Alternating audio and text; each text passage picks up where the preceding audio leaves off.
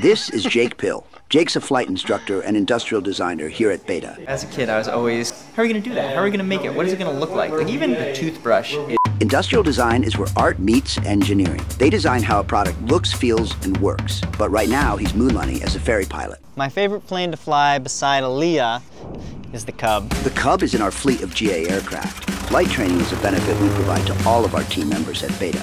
Jake went from zero to hero here, while still managing to excel at his day job on the industrial design team. I think you do a better job imagining what a pilot would want if you're a pilot. Right now, Jake's flying across the country. Here he is flying over Mount Rainier. You think they call it Mount Rainier because it's so rainy here? Here he is flying past the Space Needle. Jake greased that landing into Boeing Field. Dude, Boeing Field is my landing. I grease that landing.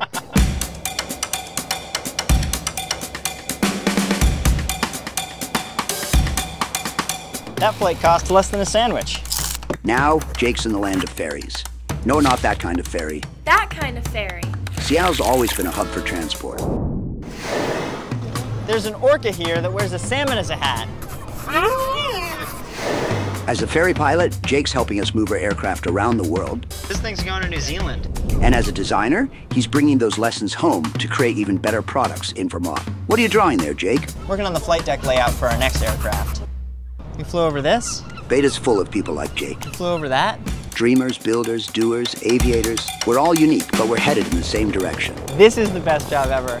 The only thing I'm gonna love more than this actual experience is watching myself do this.